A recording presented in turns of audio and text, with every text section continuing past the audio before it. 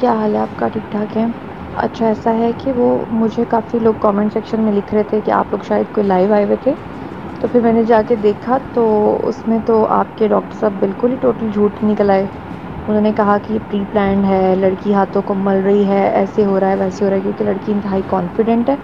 और लड़की अपनी बात पे कायम है, और लड़की का वही फ़ैसला है जो हमने बताया है कि वही उसका फ़ैसला है। तो मुझे तो सेशन देख के बहुत ही ज़्यादा अफसोस भी हुआ कि ये तो आप लोगों ने प्लांटेड ही किया सारा।